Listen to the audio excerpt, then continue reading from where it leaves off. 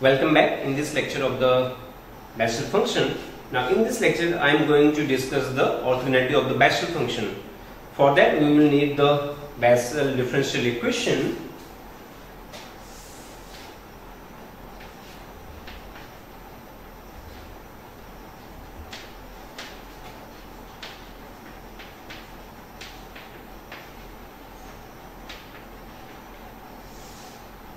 So the statement is the value of this integral 0 to 1 x jn x alpha into jn x beta into dx is equal to either 0 or 1 by 2 jn plus 1 of x or jn plus 1 alpha whole square.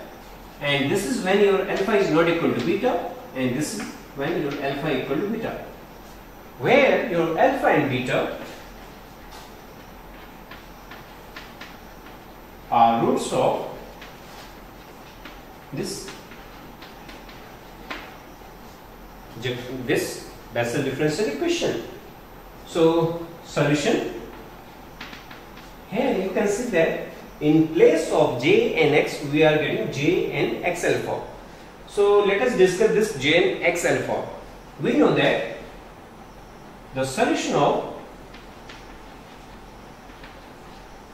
this Bessel differential equation x square y double dash plus x y dash plus x square minus n square y equal to 0 is your is Bessel function and it is given by your j and x. So the solution of this differential equation is your Bessel function which is given by j and x. Now what about when your x is replaced by say some x into alpha. So let us consider or discuss the differential equation if consider the differential equation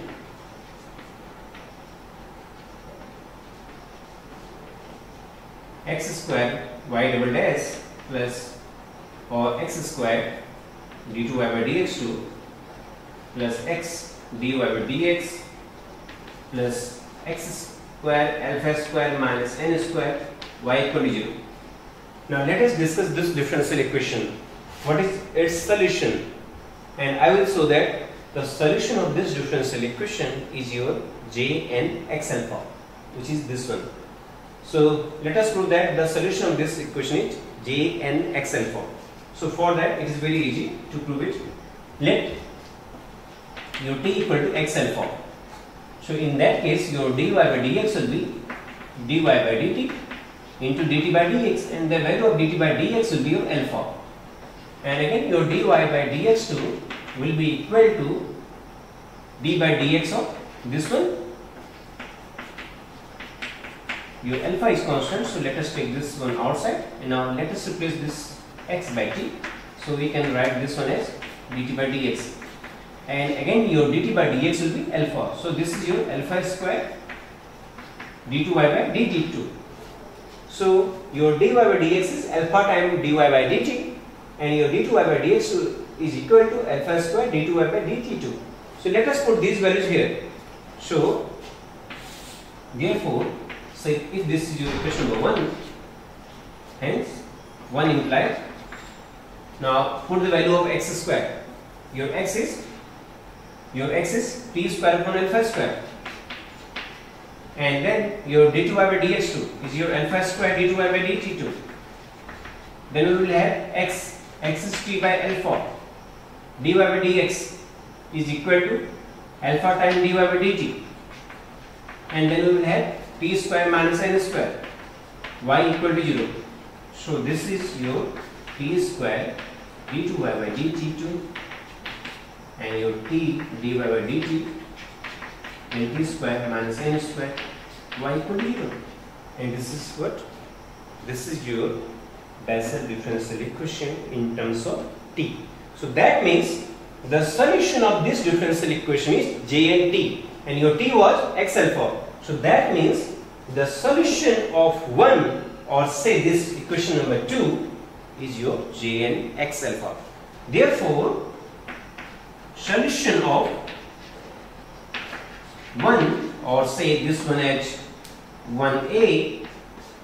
So the solution of 1 or 1a is your Jn x alpha because this is your J and T this, this is your Bessel equation and the solution of Bessel equation Bessel differential equation is your J and x now in place of x we are having t so the solution of this differential equation will be j and t and here in place of t we have x alpha.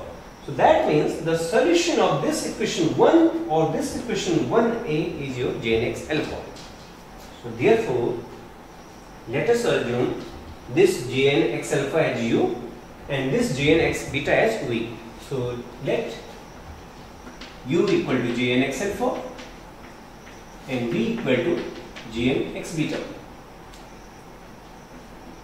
So, hence u and v are solution of now your u will be solution of this differential equation or solution of 1 so if your u is a solution of 1 so we have x square u double dash plus x u dash then we will have x square minus alpha square into n square minus u equal to 0. So say this equation is as 2. Then we will have x square b double dash plus x b dash then x square b dash square minus n square b equal to 0. Say this equation as 3. Now let us multiply 2 by b upon x and 3 by u upon x and subtract. So 2 into v upon x minus 3 into u upon x implies now this will be your x. So if you multiply this equation by b then this will be your u double dash into v and this will be your v double dash into u. Now here your x will get cancelled so we have u dash v minus v dash u and this third term now this will be your x square alpha square into u as we have divided this as we have multiplied this equation by v upon x, so this will be your alpha square into x into u into v. And now if you subtract this equation 3 from 2, then we will have alpha square minus beta square. Then at outside we will have x into u into v. Now this term, the last one, will be n square into u into v upon x. This will be your n square into u into v upon x. So this term will get cancelled. So this is equal to 0. Now this equation can be written as these two terms can be combined and we can write them as x into u dash v minus v dash u equal to we will have minus beta square alpha square x of uv because if you differentiate this x then we will get 1 so we have this term. And if you write this x as it is then the differentiation of this bracket will be this one because u double we will have u double dash into b then we will have plus u dash v dash then here we will have minus v dash u dash and then minus v double dash into u. So that will be of this term. Now let us integrate this equation with respect to x from 0 to 1 so integrating so this equation number as 4 integrating integrate equation 4 with respect to x from 0 to 1 we get so this equation will be equal to x into u dash v minus v dash u and then the limits will be from 0 to 1 now in the right hand side we will have beta square minus alpha square the integration 0 to 1 x into uv into dx now for the lower limit, your x will be 0. And for the upper limit, we will take limit x tends to 1. So this will be your limit x tends to 1.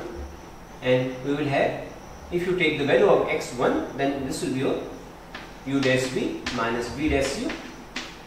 And in the right hand side, we will have beta square minus alpha square. by integration 0, 1 x u dx. Now what is your u dash? your u was Jn x alpha and v was your Jn x beta.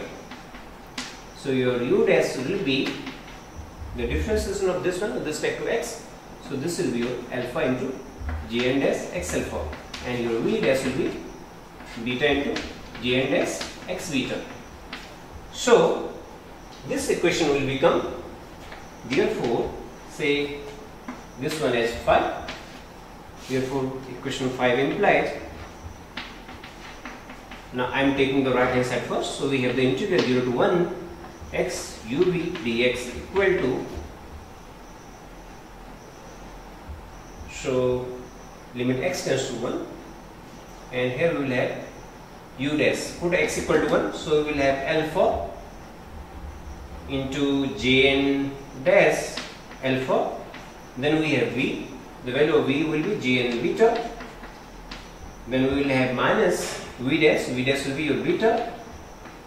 Jn beta into u. Your u will be jn alpha divided by beta square minus alpha square so say this equation number as 6 okay. Suppose that beta is not equal to alpha then this denominator will be not equal to 0 now as your alpha and beta are roots of j and x equal to 0 so that means your alpha and beta will satisfy your j and x equal to 0 so this j and alpha and this j and beta will be equal to 0 so if your beta is not equal to alpha then this is 0 if beta is not equal to alpha because this and alpha and your and beta are equal to 0 so if your beta is not equal to alpha, in this case, your Jn alpha and Jn beta are 0. So we have the numerator 0. Hence, the value of this integral is 0. And this is what we have to prove. Now what about when your beta is equal to alpha? So, so if your beta equal to alpha,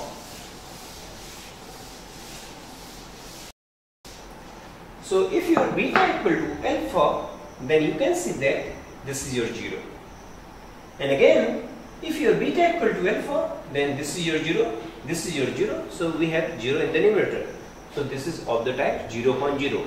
So if beta equal to alpha, then your left hand side will be so this left hand side say this alpha and gn dash alpha gn beta minus beta gn dash beta then gn alpha upon beta square minus alpha square. Now this will be of the type 0.0 so this is of the type 0.0 so if this is of the type 0 by 0 then we will use our D L'Hospital rule so for that if our beta tends to alpha then we will differentiate the numerator with respect to beta and the denominator with respect to beta so as this is 0.0, so we can write it limit beta tends to alpha as, as we are going to differentiate with respect to beta. So that means your alpha will be constant, your j dash alpha will be constant. So we will differentiate this term. Here we have to differentiate with respect to beta. Here we will differentiate with respect to beta. But your j and alpha will be 0 because this is your fixed because we are differentiating with respect to beta. So as we are differentiating with respect to beta, so this your j and alpha will become 0 and we have alpha, j and dash alpha. Now the differentiation of this one with respect to beta will be your j and dash beta and the differentiation of this one with respect to beta will be your 2 times beta. Now if you put your beta equal to alpha, then this will be your put beta equal to alpha so in that case, this will be your 1 by 2. Put beta equal to alpha, so we will have j n dash alpha whole square. So this is your half j n dash alpha whole square. And this is also equal to j n plus 1 alpha whole square. Because, so this is when your beta is equal to alpha. And this is because we have this difference relation. n j n minus x j n plus 1. And here your whole j Bessel function will be the function of x. So as we have this relation x gn dash equal to n gn x minus x j n plus 1 of x. So put x equal to alpha here. So if you put x equal to alpha, then we will get j n dash alpha. So as our x is equal to alpha, so this will be your j n alpha and j n alpha is 0. So this is equal to minus alpha j n plus 1 alpha. So from here our j n dash alpha will be equal to minus g n plus 1 alpha. So that means this g n dash alpha will be your minus g n plus 1 alpha and its whole square will be this one. So this is when your beta equal to alpha and this is when your beta is not equal to alpha. So this is your orthogonality of the Bessel function